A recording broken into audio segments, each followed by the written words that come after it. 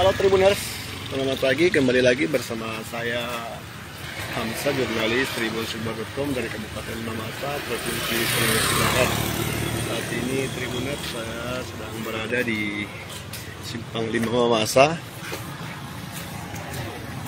Kelurahan Mamasa, Kabupaten Mamasa, Provinsi Sulawesi Barat. Di mana Tribuners saat ini uh, waktu penurunan baliho oleh Bawaslu Kabupaten Mamasa.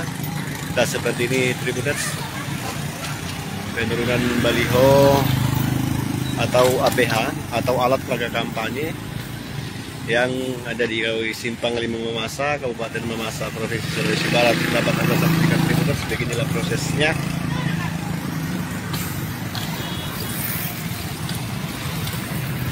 Kurang sepolte itu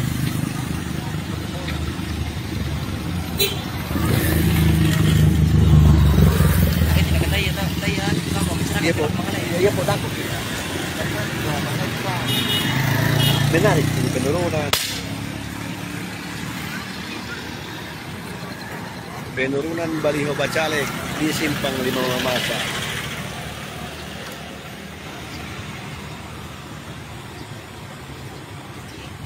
Ini diturunkan oleh keluarga bacalek sendiri Tribuners artinya sebelumnya kan sudah disampaikan oleh Bawaslu Mamasa agar kiranya semua partai atau caleg agar menurunkan uh, balihonya secara mandiri.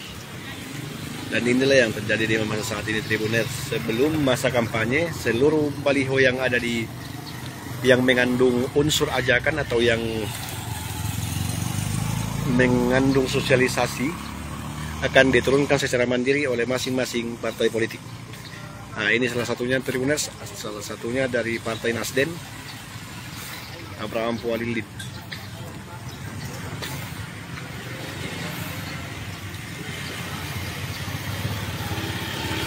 Oke, ini simpang lima masa Tribuners.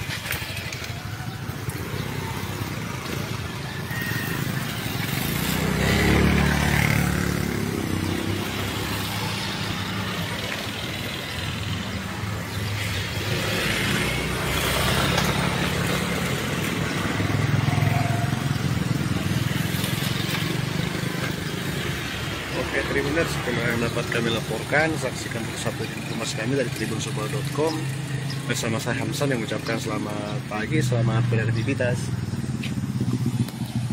Download Tribun X sekarang, menghadirkan lokal menjadi Indonesia.